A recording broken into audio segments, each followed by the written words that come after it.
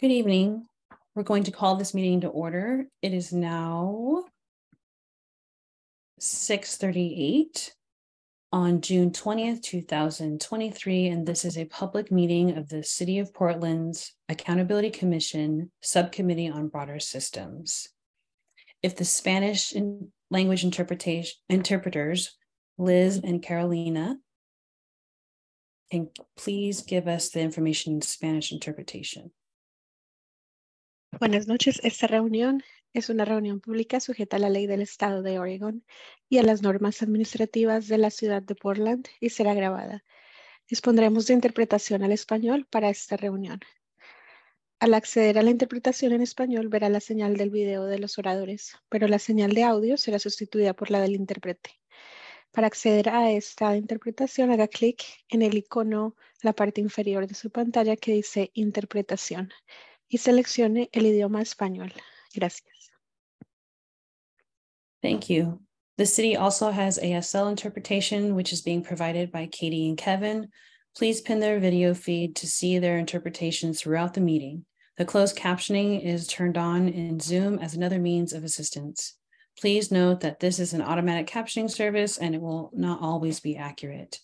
The city supports access to meetings of the Police Accountability Commission and can provide other language eh, other language support as well. Please email in advance of future public meetings, either as a response to public meetings notice or directly to police accountability at Portland or to ask for other access assistance, including interpretation in other languages. This meeting is a public meeting and is subject to Portland, uh, excuse me, subject to City of Portland's Administrative Code and Oregon state law and is being recorded. For this meeting, the chat function is enabled for commission members to communicate with each other. Members of the public will be able to ask questions using the Zoom's Q&A feature.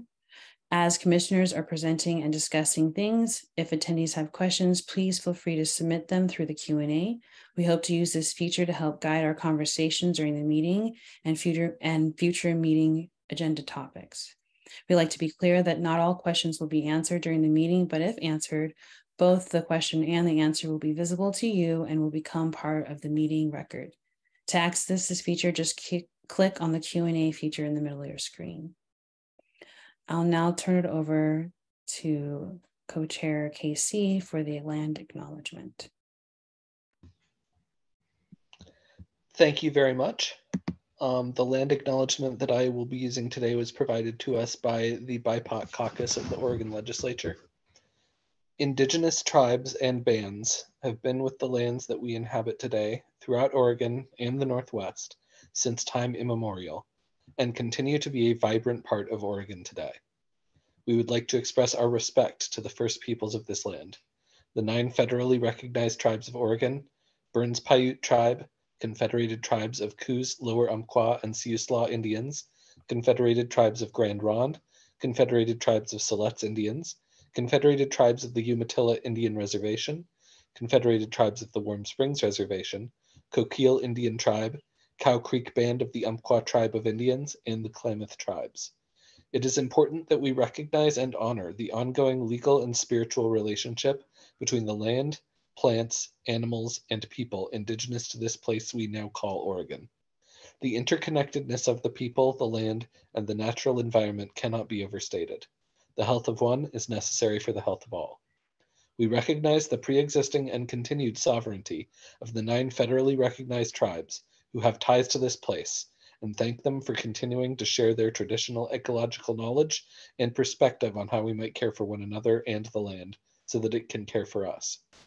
We commit to engaging in a respectful and successful partnership as stewards of these lands. We live in a nation of wealth created by the subjugation and exploitation of African people brought to Turtle Island through chattel slavery. We ground our fight in knowing that there is no Black liberation without Indigenous sovereignty, and there is no Indigenous sovereignty without Black liberation. We fight for land back and reparations and refute settler colonialism, anti Black racism, and imperialism. We invite you to join us in acknowledging all, of this as our shared responsibility to make good use of this time and for each of us to consider our roles in reconciliation, decolonization, and allyship. Thank you. Thank you, Commissioner Casey. You please have the community agreements? So please take a moment to read these community agreements. There'll be three pages of them.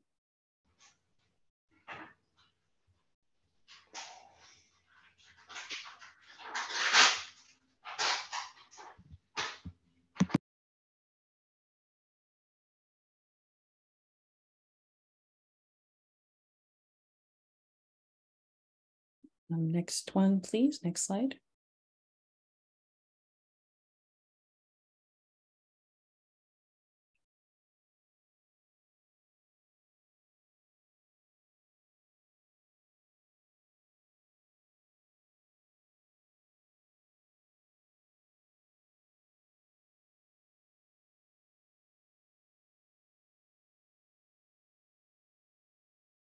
Next slide, please. If you notice that a conversation is coming to violating, close to violating a community agreement, please call your fellow commissioner members in gently and with compassion. If you are called in, please take a moment to consider how best to participate in the space while still respecting the community agreements and making space for everyone. Do we all commit to following the community agreements for today's meeting and gently calling in collaborator colleagues and collaborators if needed? Okay. I see everybody. Wonderful. Thank you. I will now pass it back over to co-chair Casey to discuss the timeline.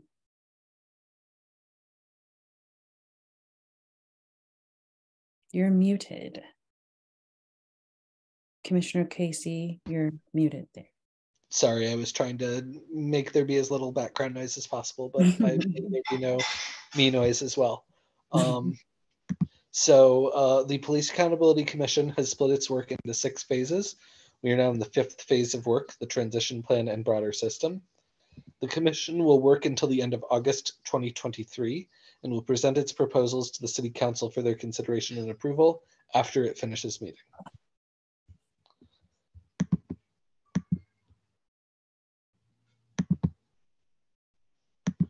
So are we on slide eight? Yep. This slide shows the outcome documents for the transition plan and broader system phase based on the agenda and scope approved by the commission.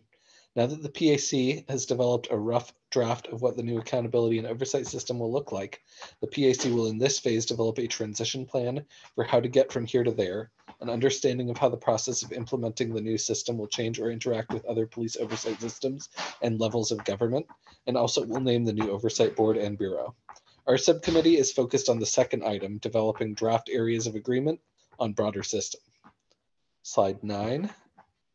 This slide is the current project plan for the transition plan and broader system phase of Police Accountability Commission's work. This slide is for members of the public to be able to understand how the commission gets from now through the end of the phase. Today's meeting falls into the gold boxes with the purple border located in the lower middle portion of the screen. Slide 10. Following today, here are the upcoming meetings of the PAC. We would like to highlight that the subcommittee on broader system will hopefully finish its work tonight. If needed, there is an extra subcommittee meeting slot next Tuesday, June 27th from 6.30 to 9 p.m. There is a community information system on Tuesday, June 27th from 11.30 a.m. to 1.30 p.m. over Zoom. This is a great opportunity for community members to get a broad overview of the PAC's draft for a new system and give input to help the PAC revise and update it. And the next full commission meeting of the PAC will be Thursday, June 29th. All right, slide 11. Today we're going to be discussing the updated draft of the areas of agreement on broader system, which is the document that we discussed in its initial form last week at our last meeting, um, starting with an overview of documents updated by the co-chairs. During the last meeting, most of the document, which is all but three sections, were reviewed in full those last three sections were discussed. Some items were flagged for further discussion and other parts were changed. Subsequently, some updates have been made to those sections as well. So today we're going to do a quick pass through the sections discussed and make sure to resolve any small changes. We're then going to spend the bulk of our time on the remaining three sections. This document has been reviewed once before, so it is possible to refer the document today, which would be ideal for the overall timeline of this phase of work. Any decision to refer a document to the full commission includes public comment and a review of the values and goals.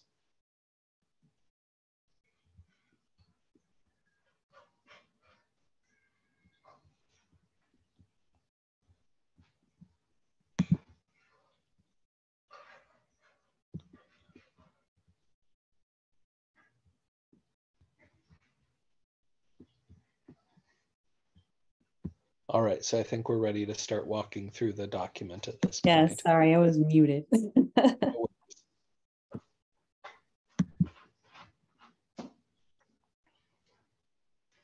Okay. Mhm. Here we go.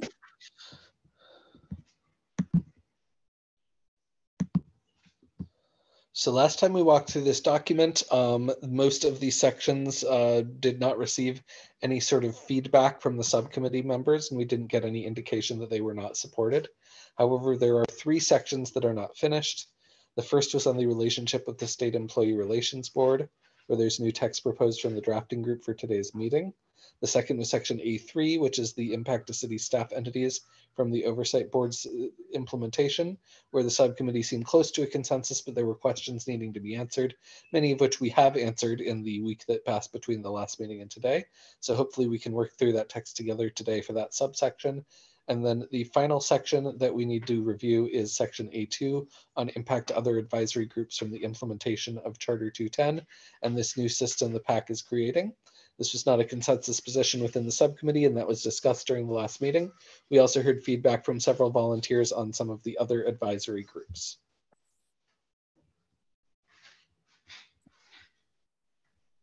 Um, so to focus in particularly on section A2, which is going to be the last one we get to today before we go through the introduction and then eventually um, approve the uh, entire document, hopefully.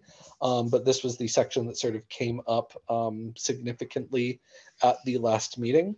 Um, we did uh, have, luckily, an opportunity for input on um, our proposals and our ideas around uh, how the uh, board is going to interact with um, the existing volunteer groups within uh, the city and we appreciated people coming out and giving their feedback about that, including how to include those groups in the process of discussion um, and how to make sure that they had an ability to sort of influence whatever impact was going to be had in the on the creation of this board and on how it was going to interact with these groups.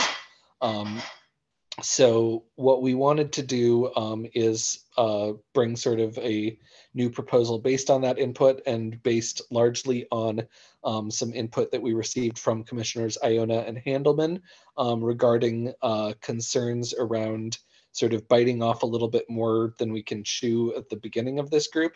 And instead of trying to sort of mandate at this point um, any sort of combination of the uh, advisory group and uh, any of the existing or uh, the oversight board and any of the existing advisory groups. Um, instead, what we want to do is create a process by which um, if any of those groups end up deciding that uh, it makes sense for them to come under sort of the ambit of the oversight board, uh, there will be a process in place for that to happen. Um, so to be clear, we're not we're not getting to that section right now, but just to sort of be clear on what the new proposal will entail. Um, in the current draft, there will be no changes to any current advisory group other than the ones that have already been outlined as being changed by um, either city council or the implementation of this code. Um, so that includes the citizen review committee, which I think everyone understood was going to be phased out as part of this oversight board being created. Um, other advisory groups will have the ability to decide independently and voluntarily to join forces or incorporate with the oversight board uh, if they choose to.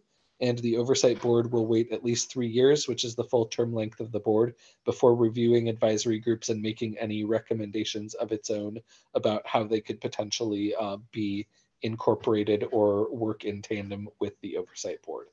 Um, we kept a lot of the parts from Commissioner Debbie's proposal um, about having those groups in the meantime work closely with each other and have other options for partnership so that they can combine their resources and be able to work together on issues that affect both of them. Um, so we hope that this addresses a lot of the concerns that we've received around this proposal, um, while also giving the advisory groups and the board and the city the flexibility to be able to incorporate um, the incorporate in a way that feels productive and feels um, the most effective for all of the people who are involved in that process. Um, I look forward to hearing more feedback on that issue, um, and I'm happy to get to it later. But for the time being, uh, we're going to jump into our draft areas of agreement, and we will work um, work our way to all of those uh, more uh, those sections that require a bit more discussion before they'll be finalized. Thank you, Commissioner Casey. We will now move to the discussion. We'll move, we will now move to discussing the draft areas of agreement and broader systems. And we walk through the outline document and some other resources if needed. We're going to quickly review this part. The co-chairs mentioned no issues at this time and make sure and make sure that there is consensus. Then move on to the three sections co-chairs mentioned in order. After completing this pass, we'll move into a potential referring, referring the document to the full commission. Oh, staff? I can wait till after you do the discussion rules. Thank you. Yeah. Um, we will ask you to follow normal discussion rules. Please be brief each time you speak.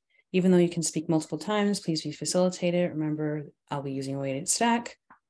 Um, finally, please be forward looking with your comments. Um, and then staff, you said you uh, would like to speak. Yeah, uh, just wanted to flag that um, at co-chair's request, we're moving up the values and goals review. Yes, Um, that's right. So um, normally the review of the values and goals is something that takes place at the end of the discussion prior to um, the approval of the document, or in this case, because it's a subcommittee, the referral of the document to the full commission. So, um, but but uh, yeah, discussing that earlier uh, this time by design to try and allow for um, that to be a part of the considerations that subcommittee members make throughout this meeting. So um, the values and goals have uh, four pages. This is sort of the introductory page. Um, and these are essentially benchmarks that the commission set for itself um, in last March 2022. So we'll scroll through briefly. The first section is introductory. After that, there is a table where there's values, corresponding goals, and then considerations or success criteria that relate to each. So just uh, scroll through all of that and then um, have that be something that, that you can ask questions about or, or talk about. And if there are none or when those are done, we move back to the document if that works for co-chair Casey and facilitators. For you. Absolutely. Yes.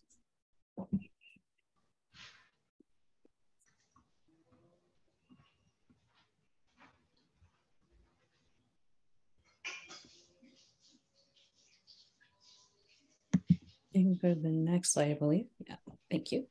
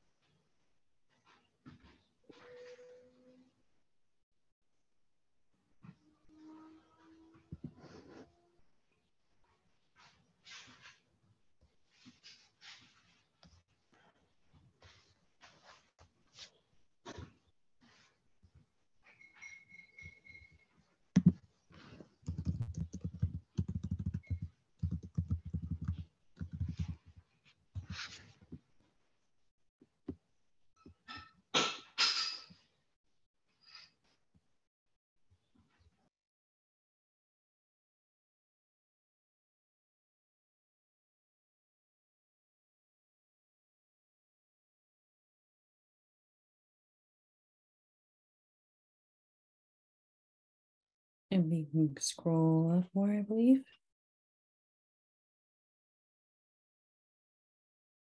Thank you.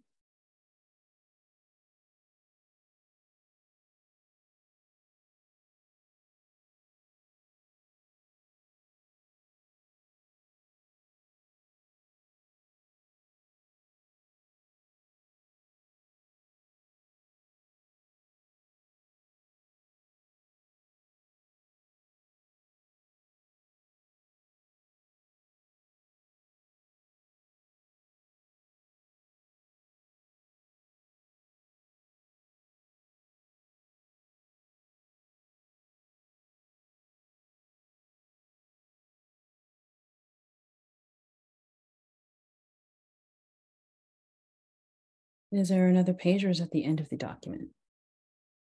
That is the end of the document. Thank you. Okay, thank you.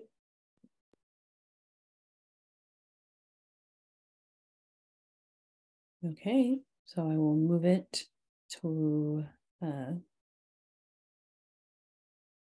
the discussion. Um, we'll start off with uh co-chairs wanting to frame the discussion.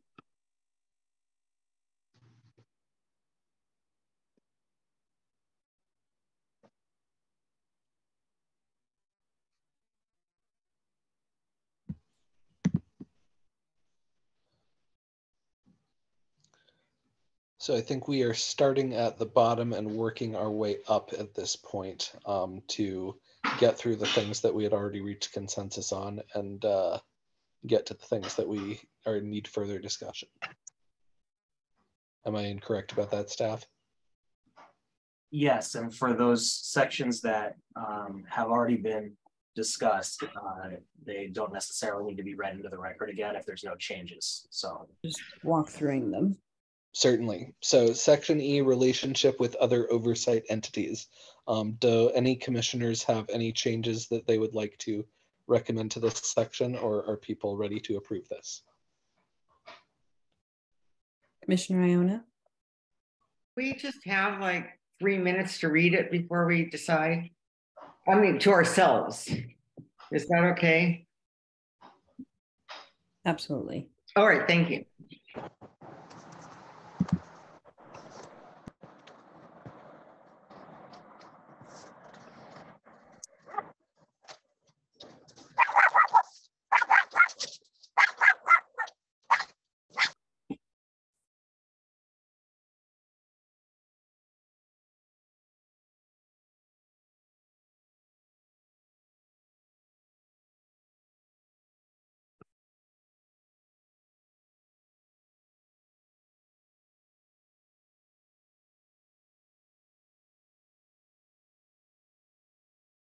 I will be looking for eyes or hands letting me know that they're ready. Thank you. Uh, can we move on? Okay. Uh, was, okay. Yep, move on.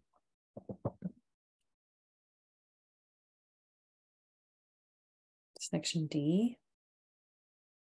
Relationship with federal government.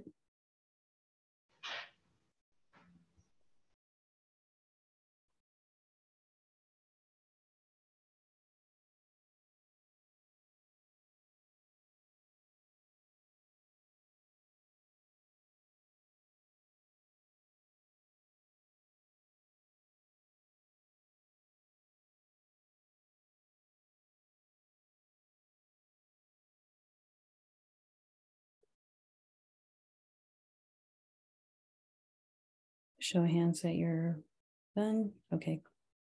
And can we move on to this from this section? Okay. We're skipping three, uh, uh, and C till right. Yeah, perfect.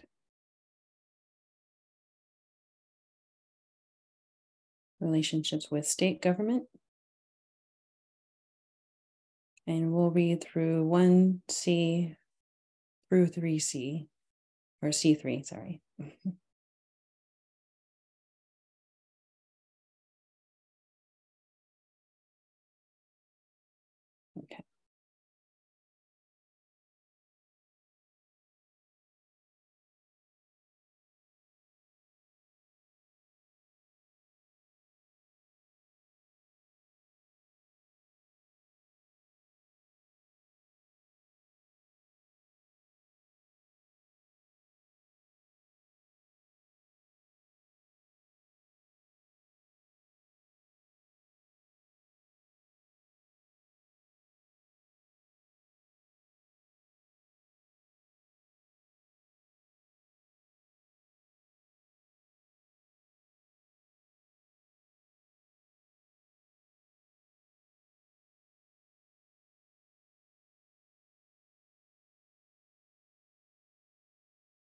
Can we move on from this section? Okay. All right, we're going to C4, and this one we will need. This one's new, so we will need consensus. Um, can you please read it into the record? Certainly. Um, so this was an issue that we'd wanted to return to after our last meeting, um, which is how this uh, oversight board will re- interact with the Employment Relations Board. Um, so C4, Employment Relations Board. The Oversight Board and Bureau shall maintain a working relationship with the State Employment Relations Board, or ERB. This relationship will be beneficial to the board understanding arbitration and its role in the process of addressing allegations of officer misconduct.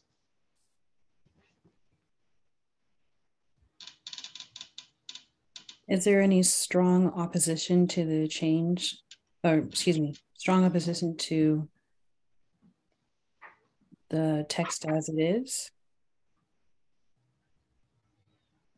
Okay, is there general agreement to the text that uh, as is? Can we move on? Thank you.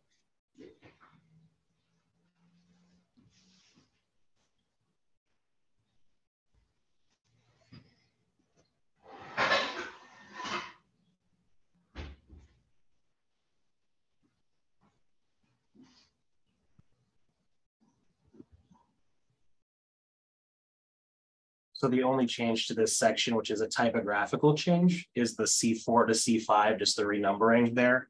And then you'll see also that the, the, the section above was a replacement for this placeholder text. So that's not part of this, but yeah. If everyone has read this section, can we move on? Okay. Great. Okay, let's move on.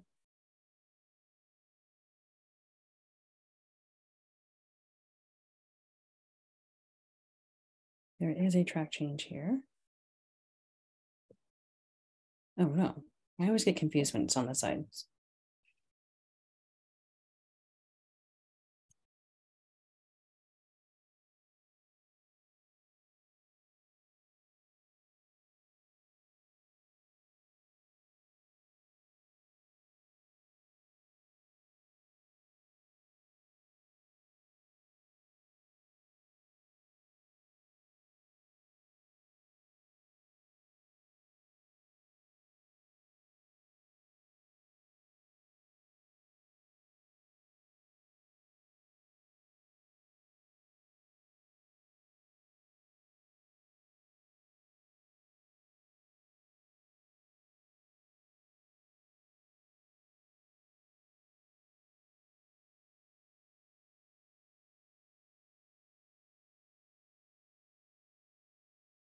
Has everyone finished reading? Can we move on from this section? Okay. Um, I'm just wanting to make sure that I'm seeing Tirsa, Commissioner Tirsa and Commissioner Glenn's hands as well. Thank you. Okay. Skipping B.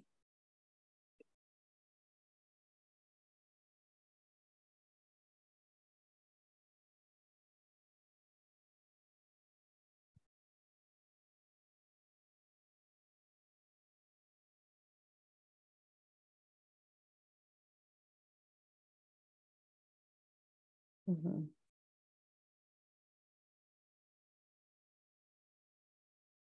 Yeah, so we looked at the first half of B two along with B one, and um, just because of the page break, it's hard to show it all. So this is all of B two B two, yeah, together. thank you. And just to respond to Commissioner Handelman's question in the Q and A, um, I'm happy to do that. We are currently on section B2, which is the section relating to the relationship with the district attorney.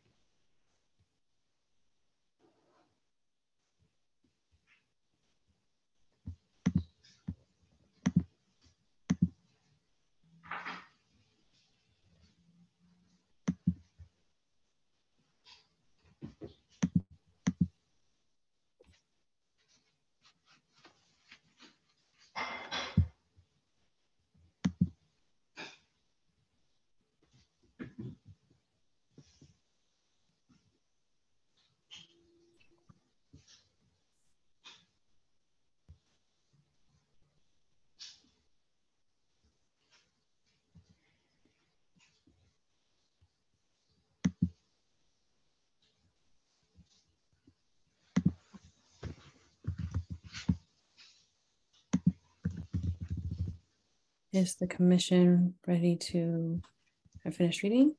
Okay, thank you. Um, can we move on from this section?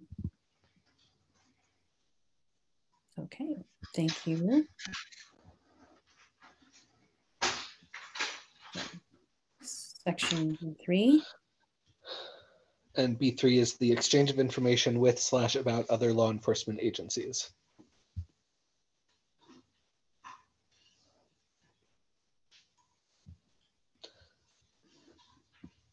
And then we're also doing B four, which is other county relationships.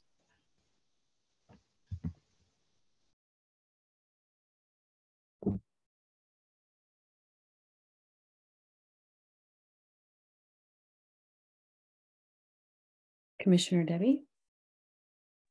So I have a question. Is the reason we're talking about sheriffs in here is because this relates to the county?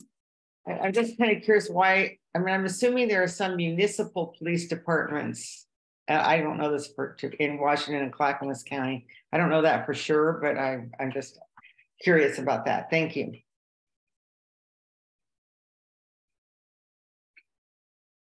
Any response to Commissioner Aiona's question? So I don't think that the, if, if there are joint operations between the city of Portland and some other municipality, um, I don't think that we're precluding the board from attempting to do some sort of work with them.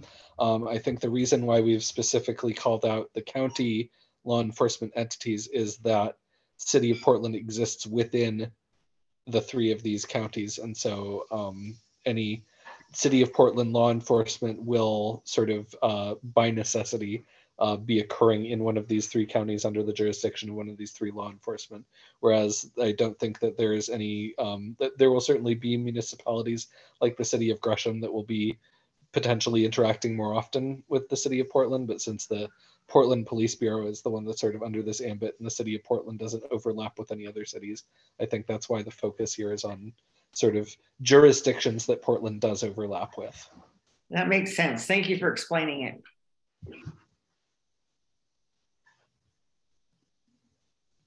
Has everyone read this section? And are there any other comments or questions for this section? Okay, can we move on from this section? Okay. Thank you. Let's move on.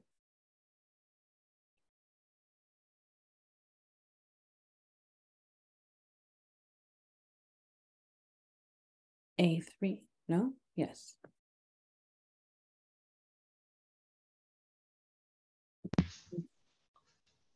Okay, So this is our first section that we're going to be addressing changes in. Um, so I think that we're just going to do what we have done previously and go through the section. Um, and then give um, members opportunity to comment both on the changes and on sort of anything else that they would like to see included here. Um, so this um, section focuses on the impact of the oversight board implementation on city staff entities. Um, the first section is focusing on the Portland Police Bureau Internal Internal Affairs Division. Um, so the Oversight Board will investigate most complaint types which currently are handled by PPB Internal Affairs. The only complaint types which currently go to PPB Internal Affairs that would not go to the Oversight Board are complaints filed by officers about conduct not affecting any community member, where the complainant officer does not choose to have the board investigate. For these cases, this work shall be transferred to Bureau of Human Resources or equivalent agency within city government, but outside of both PPB and the Oversight Board. Internal Affairs shall sunset following the creation of the board and conclusion of its work addressing complaints received prior to the Oversight Board's full implementation. So we don't have any changes proposed there, but we have had some research that was done by our staff and by the city attorney's office in the interim. Um, and so if staff would like to sort of present that information, um, this is an opportunity to sort of get get the sense of what the current um, law is to our understanding um, behind this proposal. thank you, Commissioner Casey. Um, staff,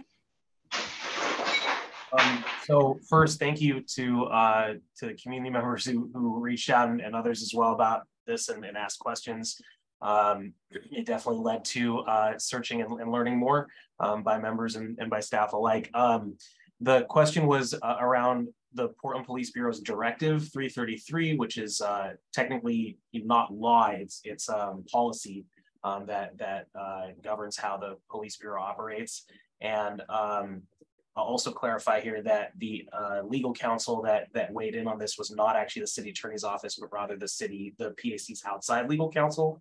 Um, so just just clarifying that um, and interpreted 333 as uh, saying that that internal affairs currently does not handle criminal complaints, that handles administrative complaints related to incidents that may also be investigated criminally.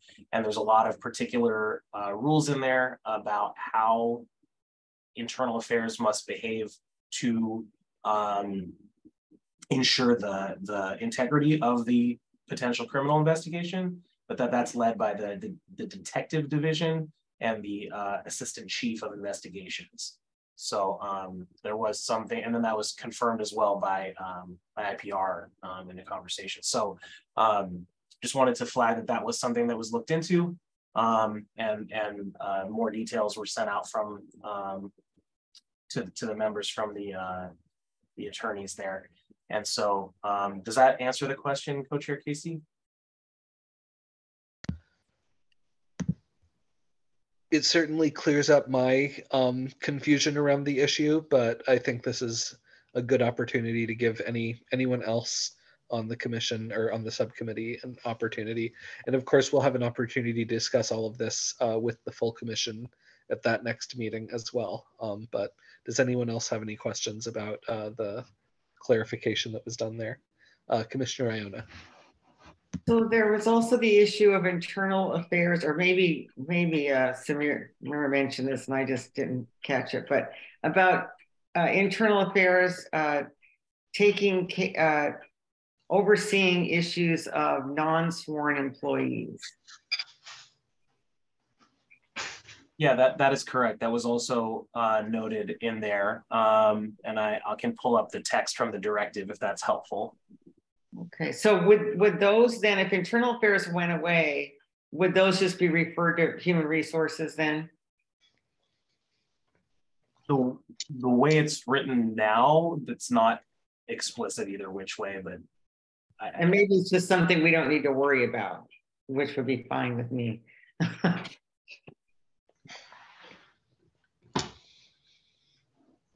Any other comments or questions for this section?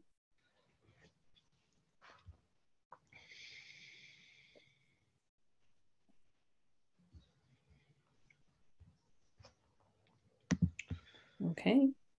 Commissioner Casey, did you have something you wanted to add? Nope, it's just coming off video for the next section. Okay, excellent. Since there wasn't actual changes to this section, can we move on? Okay.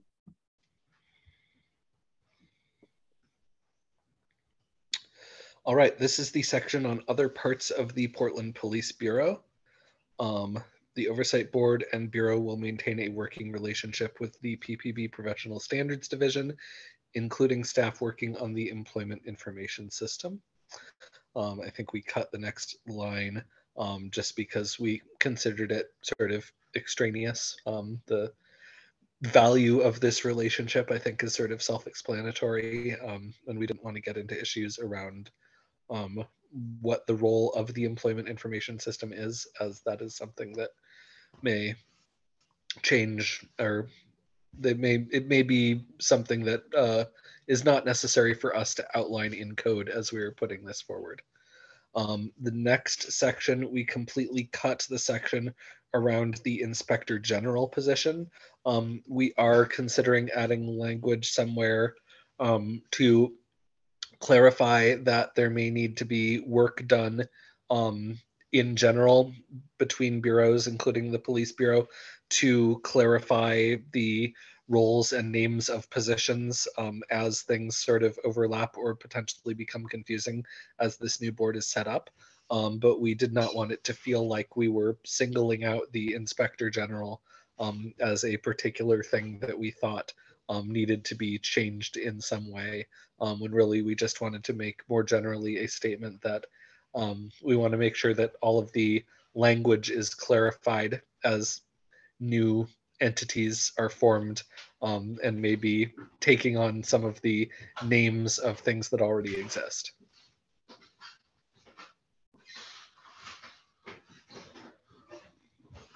Thank you, Commissioner Casey. Were there any other questions about um, this particular section or comment?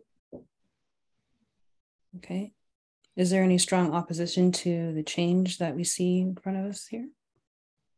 Is there general agreement for this section? Okay. It looks like I I'm saw. Sorry, it was a little slow on the draw. Could you show Yeah, that? yeah, I was gonna say, uh, yeah. It's like I, I, I did actually see everybody's hands, including Commissioner um, Glenn and Commissioner Tirsa, so I think we're good. We can move, can we move on? Okay.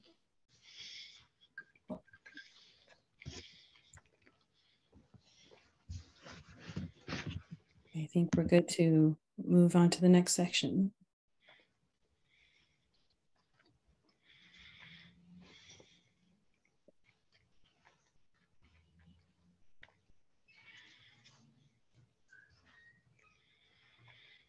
Okay, this is section A2. All right, so A2, this is the one that's probably seen the most changes.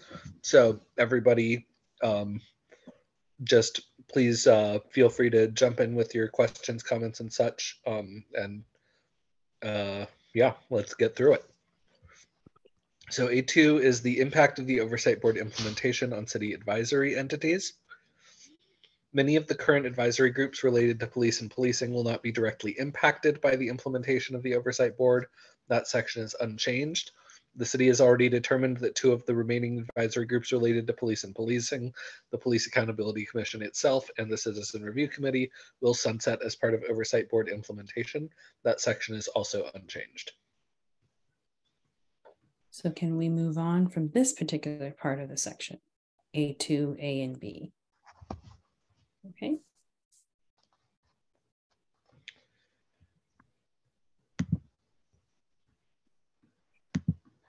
C. And can we scroll up just a little bit? I have a little tab thing that hangs down into the very top of my screen, so I miss the first line when it's the top thing. Thank you very much.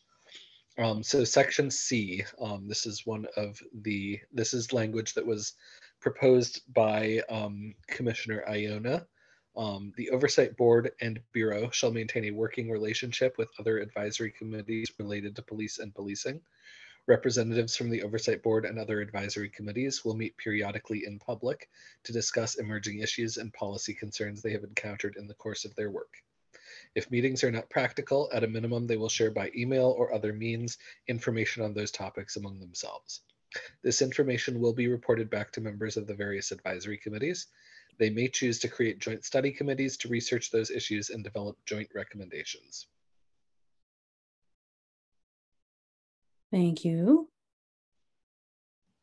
Okay, I was going to ask that. Wonderful. So for the whole section of C, first, are there any comments or questions, thoughts about this particular section?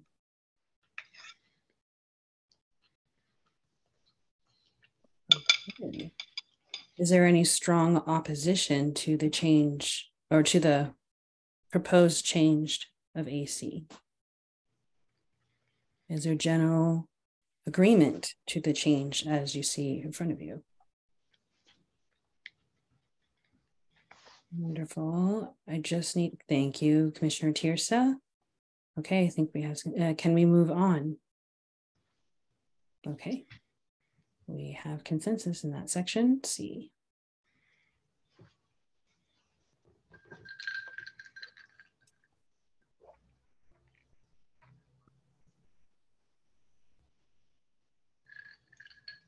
Section D, AD. All right. So this is all new. D, framework for independent and voluntary incorporation. Other advisory groups related to police and policing, whose functions incorporate officer accountability and or policy recommendations, may independently and voluntarily choose to pursue incorporation with the Oversight Board to provide themselves with increased independence, access to the board's investigatory and analytical resources, to avoid confusion from the public, and to be an efficient use of city resources in support of volunteers. One, this process would be initiated through mutual consent by the advisory group and the oversight board.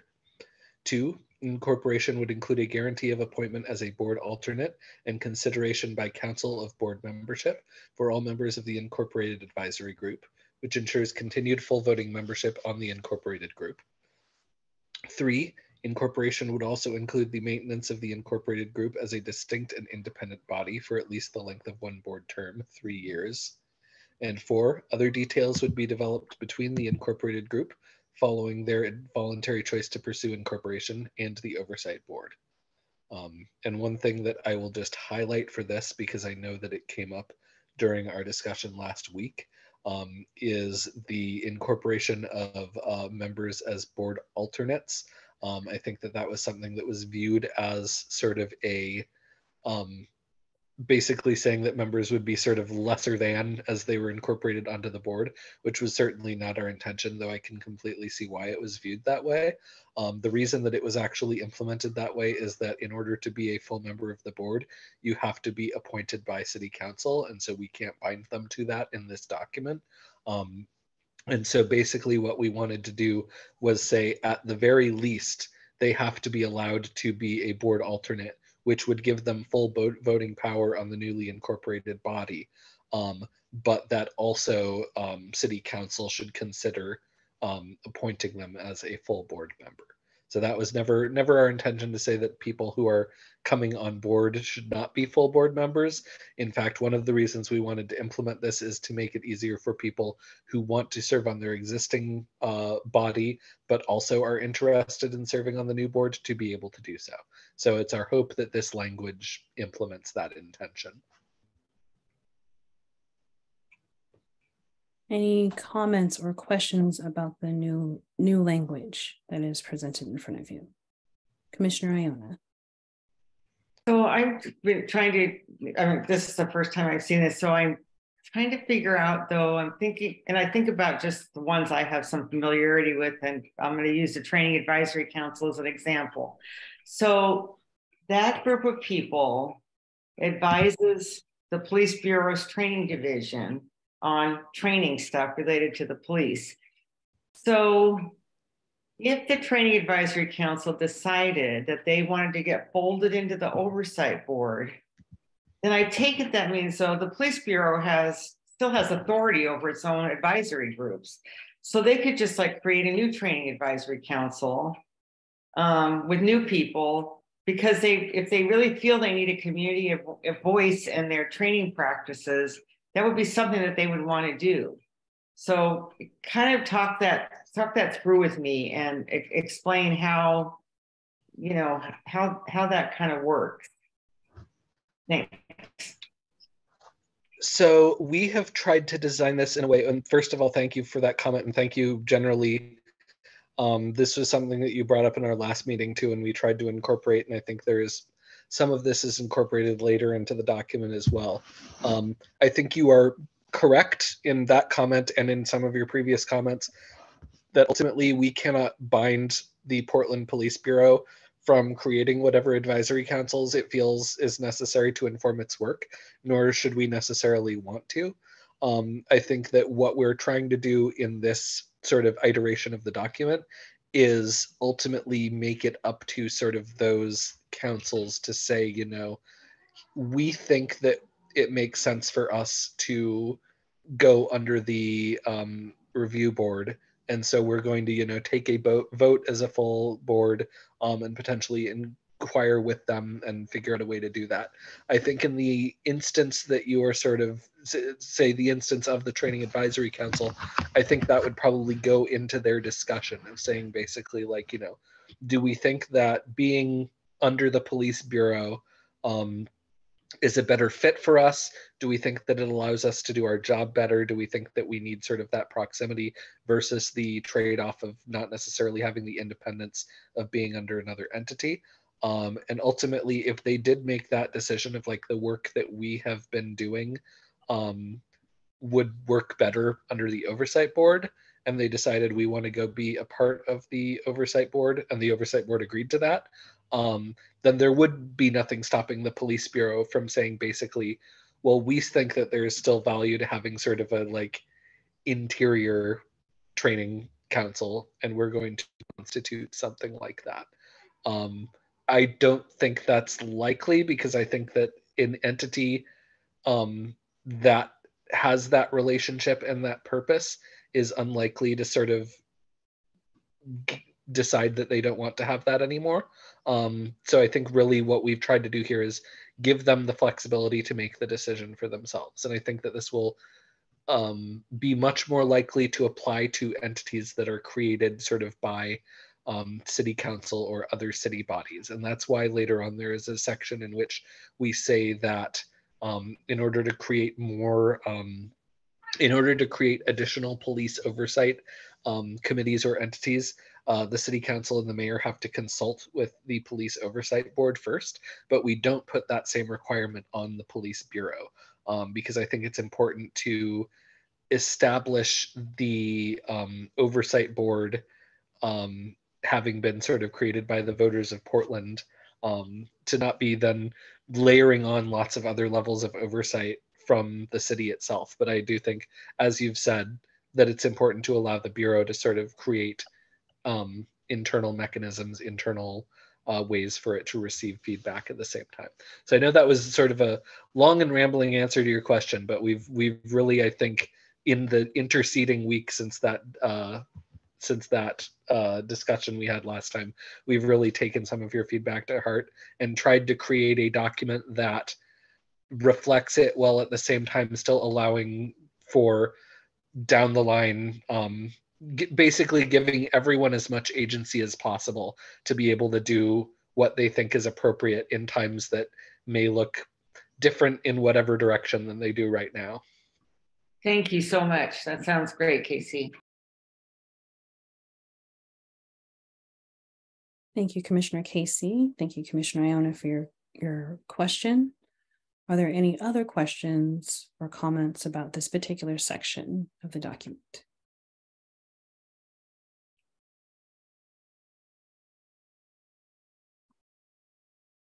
Okay, is there any strong opposition to the change to the text that we see in front of us currently?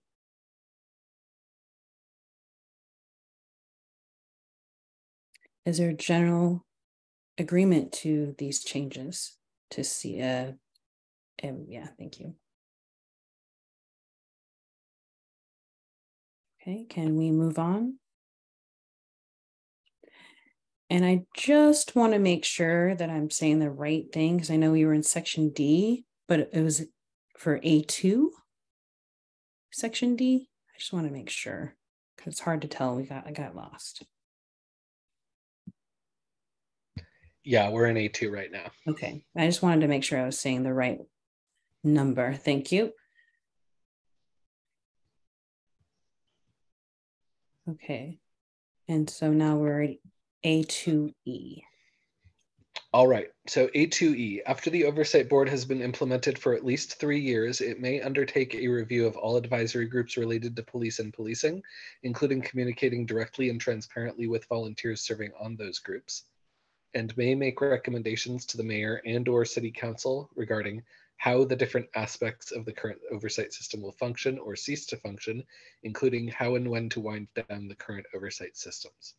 And so this gives the board a full term length of the first sort of set of members to sort of build these relationships, have conversations with these existing groups, um, and be able to sort of come to their own conclusions about kind of what the system should look like going forward um, before making these recommendations. And I will note that the reason why we included this specific language um, and really the reason why we included this section um, is that we are trying to be responsive to the mandate that city council has given us. And this is specific language that was included in the things that we were asked to do.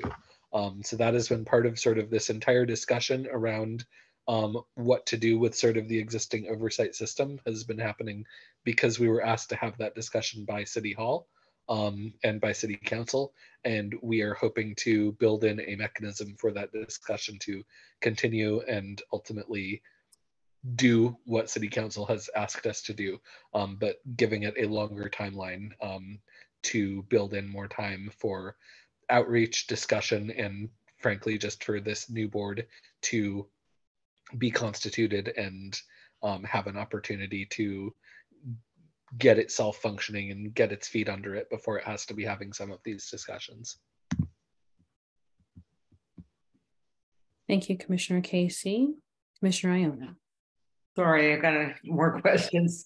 So if the new oversight board has, when it says implemented, I assume that means it's up and running for at least three years. Then when you go down to the part about the current oversight system, I'm assuming that means IPR. Um, but if the other thing has been working for three years, won't by then IPR be gone? So, Mostly gone? So at that point, IPR will be completely gone, I believe. Um, the current oversight systems language that we were given is not specific to IPR, um, and it could apply to sort of anything that is considered an oversight system, which potentially includes some of the groups that we have been discussing over the past couple of meetings. And so, really, this gives the commission itself, after it's been doing its work for three years, the um, the flexibility to do a holistic look at the whole system that existed before it and the parts of that system that has carried through and say all right are there any further recommendations that we want on making things more consolidated more efficient um, in you know maybe recommending that some of these groups receive more resources or um, recommending that you know they have an opportunity to work out roles between them. Or frankly the way that this is drafted um, the oversight board could take a look at things and say you know we have considered how the different aspects of the system are functioning. We've considered how and when to wind down the system and we've decided that everything is fine and we don't need to make any recommendations. Um, so so really it give it puts the the power in the hands of the board itself to decide what aspects of the remaining system need to be looked at and what do we want to, what changes do we want to recommend to them Um, just want to double check about staff's hand. Yeah, not to uh, throw a complication in here, but just to, and this is in no way um, disagreeing with either Commissioner Debbie or Co-Chair Casey, but there, uh, the other subcommittee is technically figuring out how long IPR will still be around, and that's not done yet. Um, and there are proposals that might get near to that length um, in in total, so uh, that that are hard to predict um, until at earliest this Thursday. So um, this is sort of a tangent to the question, but for those who are interested in how long IPR uh, would be maintained before it sunsets, that's something that uh, as early as this Thursday's subcommittee meeting could get figured out. Thank you. apologies for stepping on the other subcommittee's toes i certainly I will, I will wait to hear what what is happening there before making any more statements about timelines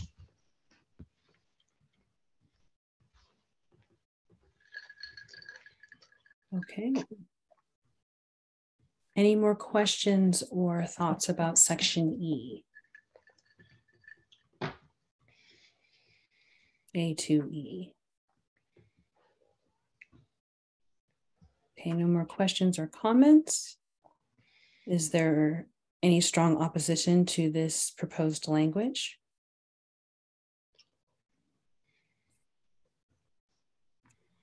Is there general consensus to this proposed language? General agreement, I should say, excuse me. Okay, I think I see everybody. Okay. Um, can we move on to section F? A2F. Sorry, I can't see everybody. It keeps changing on me. Okay, thank you. Commissioner Casey? So A2F is unchanged. It just says that prior to establishing any new city, new advisory groups related to police or policing, the mayor and or city council shall discuss the proposal with the oversight board and give sufficient time for a response. Um, so just to go into this one a little bit, first, uh, again, as I discussed in the previous section, um, I think this is acknowledges sort of the um, the fact that has been brought up by Commissioner Aiona that we don't want to preclude the police bureau itself from creating advisory groups um, because we want to incentivize and encourage them to be trying to take community input and advice. Um, but at the same time, we don't want to have a situation where every time new city councilors are being elected, they're creating another new advisory group that is in accordance with whatever direction they want to go this way or that way, um, rather than trying to um, work through the existing system and um, sort of uh, empower the existing um, advisory group. I think that we've seen um, we have seen a lot of uh, police accountability systems come and go in Portland, and we are hoping that that will not be um, the case after this system is implemented. Um, but at the same time, uh, we don't preclude them from doing so. We just ask them to discuss it with the oversight board and give sufficient time for a response. So that acknowledges the fact that maybe there are circumstances that we can't foresee that will require another group being created. Um, but we at least think that it is appropriate for the current oversight board to have input in the creation of that. That's everything from me.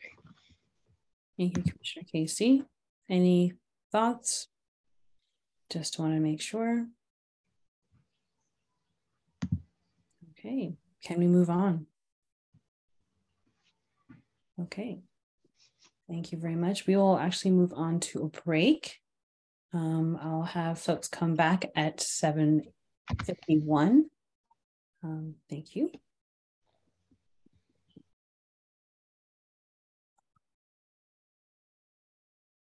Okay, welcome back.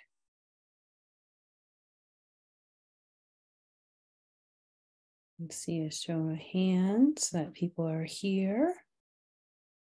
Or cameras all. Okay, thank you, thank you. Okay. I believe we're going to be going now to section A one. Am I right, Commissioner Casey? Oh. Uh, Commissioner Glenn, did you have a question?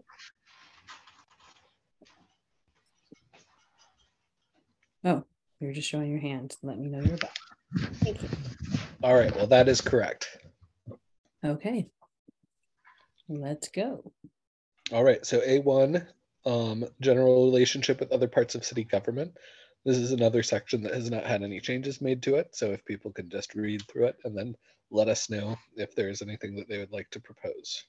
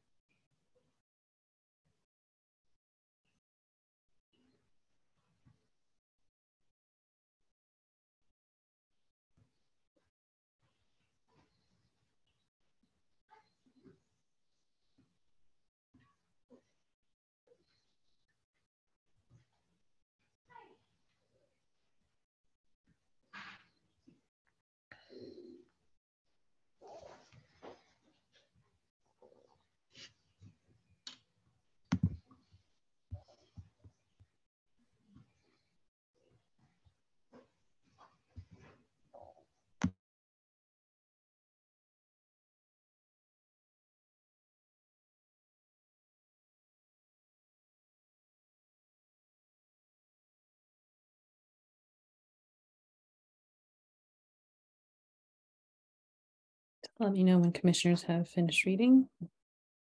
Okay. Um, can we move on from this section?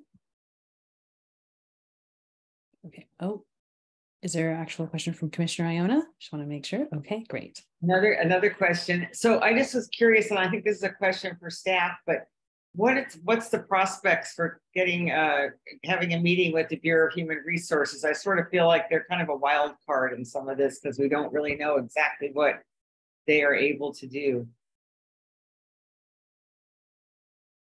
Uh, staff? Uh, yeah, haven't heard anything new since last Thursday, so, um, but basically trying to figure out which part of HR is, is the best, the Bureau of Human Resources, the best part to speak to us as it, you know, relates to employment, uh, collective bargaining, several other sections, and, and the Bureau has several parts. So, um, we've been kind of trying to figure that out and then schedule it after that. But definitely still, uh, intending to make it happen and, and fairly confident that it will happen, just not specifically confident in a specific date yet. Thanks. Thank you, Commissioner Aiona. Any other questions about this section? Okay, can we move on? Okay, wonderful. Right, thank you. Um, staff can move on. Okay, this is section A1D. So this is what, pardon me. This is what we were discussing earlier when we took out the section on the potential renaming of the inspector general position. Um, we decided to instead have this sort of more clearly holistic language, which is the oversight board shall maintain a working relationship with other parts of the city government and work with those entities to ensure there is no duplication of names and titles, processes, and terminology. This process shall seek to avoid confusion and create clarity for the community. Any questions or comments about this proposed change to language? Okay, see no hand on that. Okay. Is there any strong opposition to the proposed changed language? Okay. Is there general agreement to the proposed changed language or the proposed language? Okay, I saw all kinds of happy hands. Can we move on from this section then? Okay. Fantastic. Thank you very much. So we're Wanted to- with, Just wanted to just flag, we're trying to get uh, a member back into the, the, oh, oh, okay, just bear with us a moment, please. yes.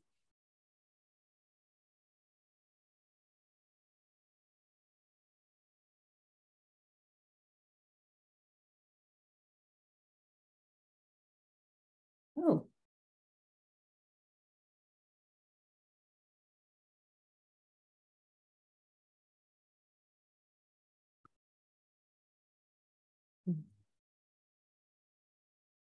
Okay, great.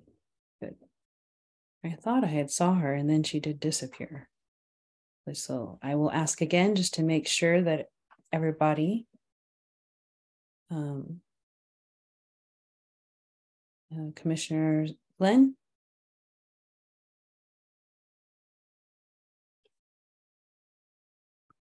Okay, so that was, a- that was a yes. Am, am I assuming it's correct? I Want to make sure. Okay, fabulous. Thank you. Okay, we can move on.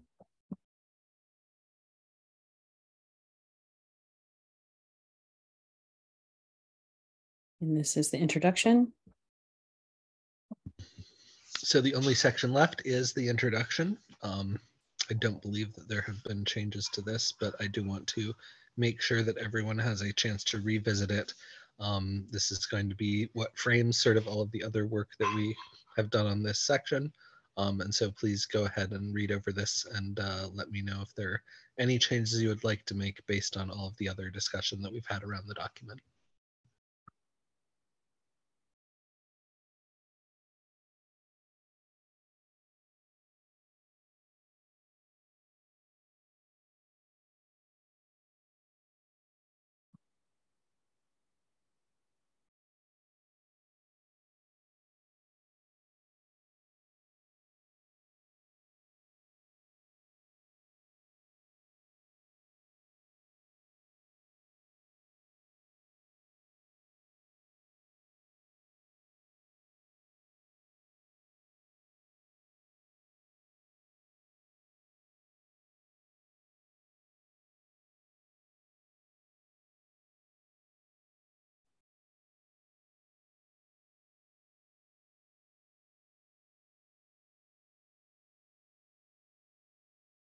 Has everyone read the introduction? Oh, yes, yes. Um, and we move on, or is there any questions first? Okay, can we move on from this section? Fantastic. Okay.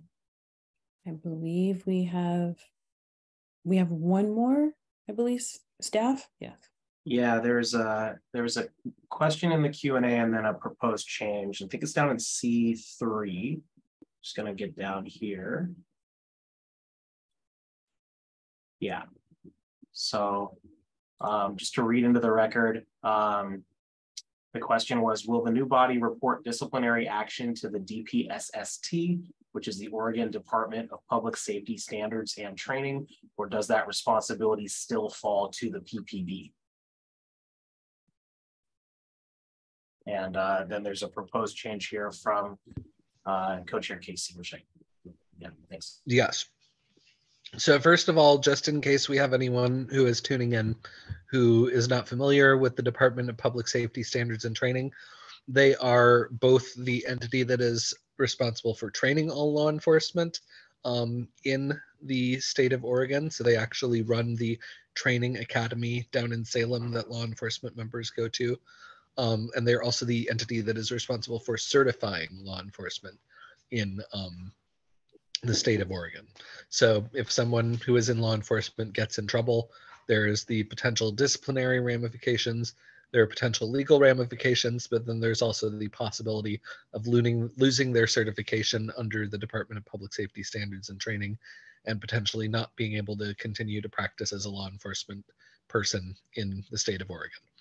So the language that I have proposed mirrors a lot of the other language that we have used um, in this document.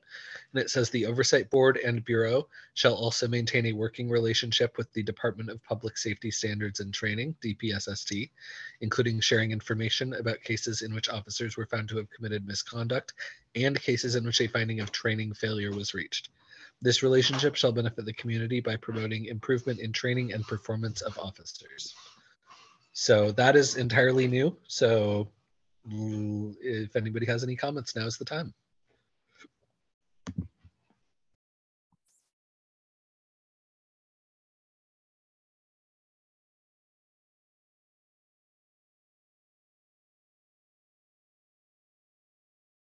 Any comments or questions, thoughts?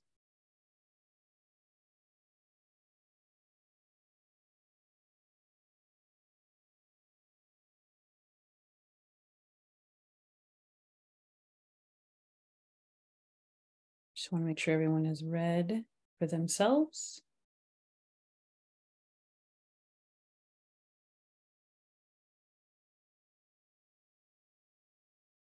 Is there any strong opposition to this proposed language? Is there a general consensus or agreement to this proposed language? Okay. Can we move on? All right, now we are done with this particular document, or at least at least this portion of the document. Wonderful, yay. Okay, so we can go on to the next section of our agenda. That's okay with the commission.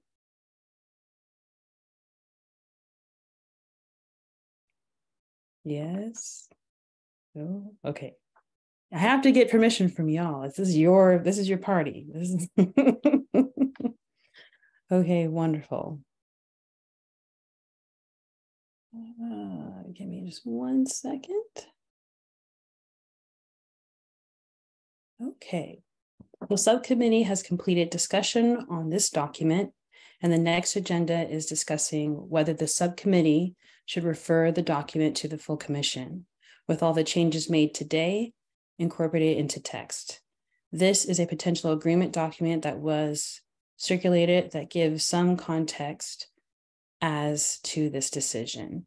It, it also says that co-chairs and staff would be authorized to fix some formatting and typos prior to the full commission's consideration. I think we need to go to the next slide. Yep. Before seeing if there is consensus around referring this document, we're going to hear, oh, we already, did we already, re- we already reviewed values and goals, right? Yes? No, I can't really. Well, no, we'll just do that. We're gonna review values and goals and hear, and also hear from the public, which is what we definitely need to do. After that, we'll ask members to make a final tweet, any final tweaks, then if they're ready to make a, ready to make a decision, I'll pass it to staff to review values and goals again. Okay, Sorry, the, the, just the, the audio cut out when it was coming in. It got a little jumpy there. Values and goals again. Is that what you're saying? Yeah, and the screen kept doing all kinds of dancing things on my side, so my apologies. I, I couldn't see what everybody was doing, and yes, we need values and goals. We did it the first time already, so this is the second time, I believe. Yep happy to show it. And then we need to take public comment for this particular section.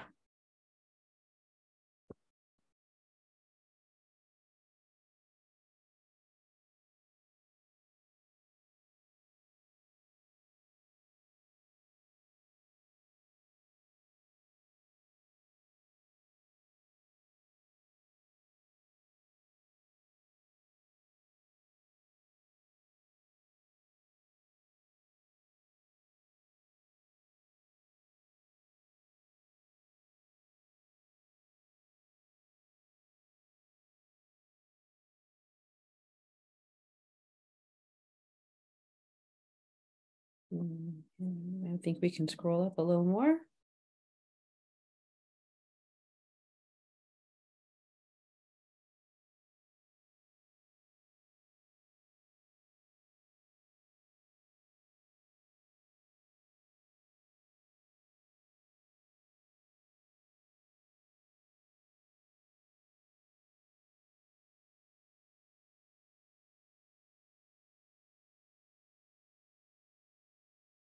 And a little bit more.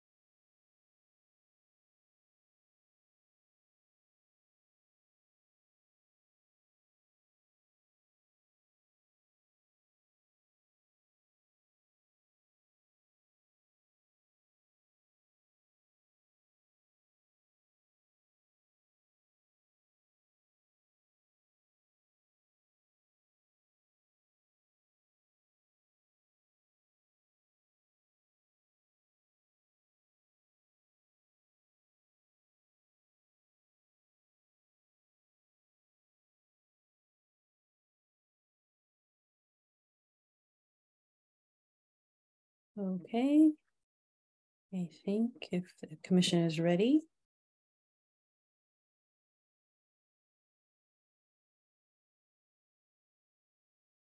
A show of hands. Wonderful, thank you so much. I believe we need to go to public comment before referring on the draft agreement. So public comment, we ask if folks are interested in speaking up, that they do so now at this time. Um, three minutes is the time limit. Please use a show of hands. Thank you very much. I believe I see in Nathan. Let's see. Who do I got here? All right.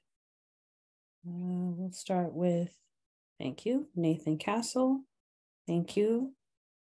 And we'd love to hear your comment. Thanks. Hi, everyone. Uh, Nathan Castle, he, him pronouns. Um, I'm a member of PCCEP and TAC, um, but I'm here uh, today on my own, uh, you know, speaking uh, for myself only. Um, I do want to say thank you uh, to the uh, subcommittee members for the, the, quick turnaround on changes to the draft. Um, I had some concerns about the language on, um, you know, the impact on other advisory committees and other groups last week, um, but I'm uh, really liking the language that I'm, I'm seeing now, um, keeping it open to um, voluntary uh, incorporation uh, as groups see fit. Um, so thank you for those changes.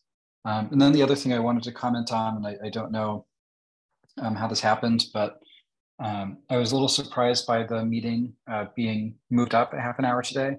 I was expecting it to be uh, seven o'clock, which is what I saw on the website. Um, I want to say as late as, as Sunday this week. So, um, yeah, I guess I just have to object to that because I, I very nearly missed uh, this very exciting meeting that I was looking forward to for a whole week.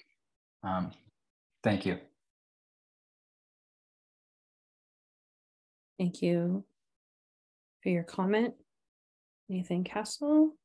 And we'll go on to uh, Dan Handelman. Uh, good evening, everybody. This is uh, Dan Handelman. I use he, him pronouns. I'm a fellow commissioner on this commission, and I appreciate being able to attend these meetings and all the work you're doing.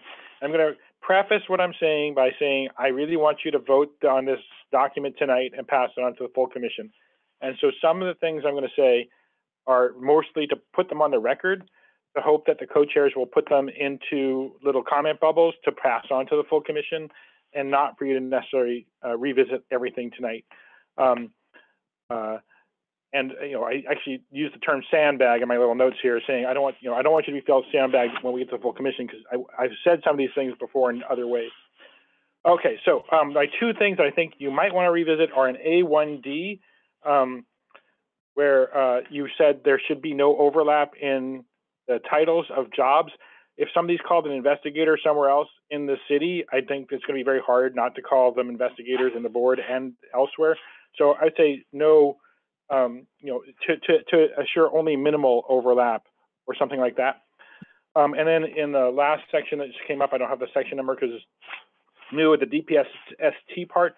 I would say report to the state as appropriate because um, uh, it's up to the employer, I think, to do that. But there's going to be a lot of questions about what the board's role all, is in all that, and I think it's okay for the board to uh, duplicate effort, but I want to make sure that we don't step on toes once again. Um, so here are the comments I think that I'd like to see just thought about um, before the commission votes on it.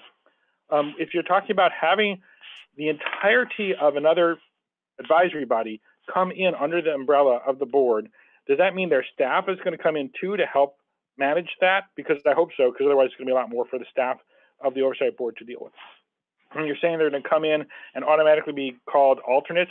How does that affect other people who have to apply and go through um, screening in order to become alternates? Alternates also are supposed to be trained in how to review case files so they can become full members at some point. So I think, especially offering that the existing bodies will still have the right to vote in their own bodies creates a lot of confusion, and I think it's something that just needs to be better thought out. Because my proposal last time was just to see that if these other advisory boards stop doing work because the new board exists, that then uh, as if the board's able to pick up those functions, the board should pick up those functions, not to actually absorb the people and the entire um, body.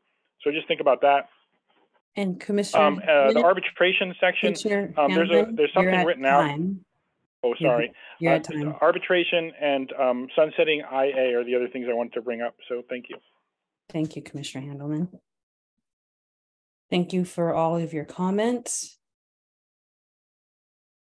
We appreciate hearing from our public and our commissioners that are sitting out in the public.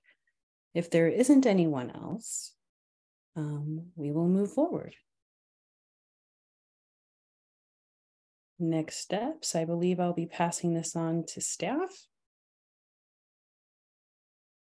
Uh, we're not, we have to ask. We're, oh, wait, sorry. We need to back up, back up, back up, because we have a thing to like complete. Sorry, I got thrown off by the the slide in front of me. I was like, wait, really? okay. All right. All right, we did that. We did that. Okay, would any of the members of the subcommittee like to revisit any portion of the draft agreement before moving forward? Commissioner Aiona. I'm not suggesting we re, re, we revisit it, but I, um, I do think we really should make space for the full commission to give some more thought to this, the, the issue of,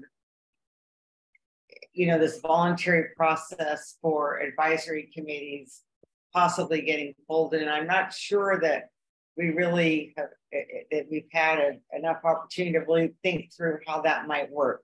I mean, really, again, as Commissioner Handelman pointed out, like if you all of a sudden you're moving the PCCEP into the oversight board, so that's 13 people. So I, I just, yeah, I guess I, I don't get it. Would they be, we just have a whole lot of alternates? And I, I think, yeah, let's make sure we have time to talk about that when we get to the full commission. I definitely agree with Commissioner Handelman. I think it'd be excellent if we could vote on this tonight. Thanks. Thank you, Commissioner Aiona.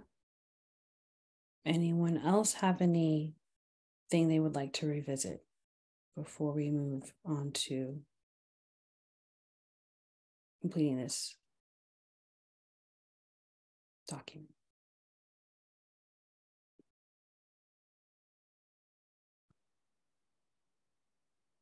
Okay. So I'm going to ask the questions.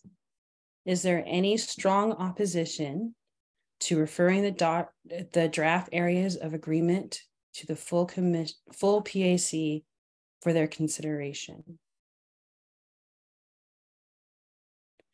Is there general agreement around referring the draft areas of agreements to the full PAC for their consideration. All right. Okay. I believe we have consensus. Thank you. Uh, just want to make sure I'm writing, reading everything.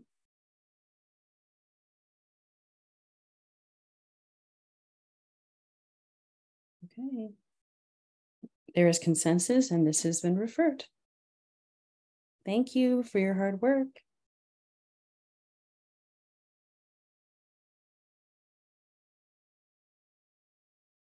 Okay. Thank you, Casey. Thank you all. Okay, let's see. Okay, I guess now now we're going to go to next steps and i'm going to be passing it over to kate uh, commissioner casey pardon me i just took a big bite of my i mean of course he did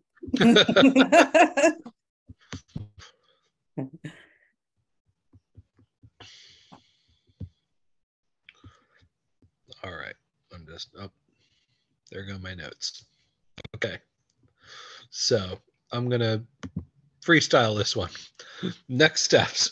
We have uh, we have concluded our work on approving this draft areas of agreement document, which means that we have concluded our work as a subcommittee. Congratulations, everyone. Our next step is going to be referring this document to the full commission. So we'll be meeting with all of our compatriots at the next meeting, um, having an opportunity to incorporate any of their feedback into this, and then meeting our our schedule for getting this thing done, getting it incorporated into our larger work product, and getting one step closer to building the thing we've all been working on. So, good job, everyone. Um, it continues to be a pleasure. Thank you, Commissioner Casey. All right, we will go to the garden plot. This is a time for facilitators, co-chairs, and staff to summarize any items already brought up today which did not fit in today's today's agenda. We'll recap those items here and use them in developing future agendas. We won't, we won't be using this time to add new items not previously mentioned or to discuss any items, but we will, be- but we will use this time to develop future agendas so these items can be addressed. Is there any uh, items on the garden plot for the second facilitator? Uh, No, I have, thank you. Wonderful. Um, co-chairs, anything for you? Nothing to add on my end now. Okay, and staff. Um, this isn't new. It was mentioned last time, but just in case anyone was watching and wasn't sure why, uh, there were these yellow highlighted sections and why there was a comment off of it. Um, in the document, the yellow highlight is the exact text from a previously approved PAC document, and it was previously put into the garden plot by, by co-chairs that where it says employees and elected officials, they wanted to revisit potentially adding appointed officials. So just wanted to flag that in case anyone was watching this meeting who didn't watch the last one.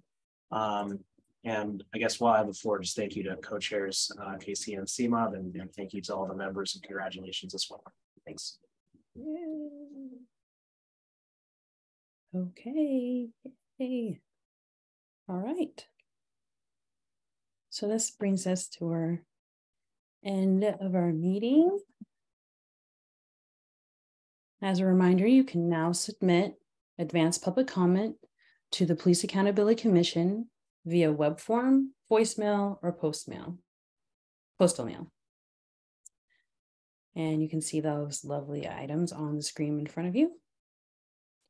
Thank you all to, thank you to all members who attended today's meeting, and thank you for your contributions today. Thank you for the interpreters and your contributions today. Finally, thank you to the members of the community for attending and contributing your thoughts and questions and feedback. If you are not already signed up for email updates, please also sign up to receive updates from the PAC. You can do that at tinyurl.com PAC public comments. This is the final meeting of the Subcommittee on Broader Systems. Thank you all for your work. The next meeting of the full commission is Thursday, June 29th from 6:30 to 9:30 p.m. The next meeting of the subcommittee of not, nope, nope, nope, nope, not this subcommittee. We're done here. Um, thank you and uh, have a good night.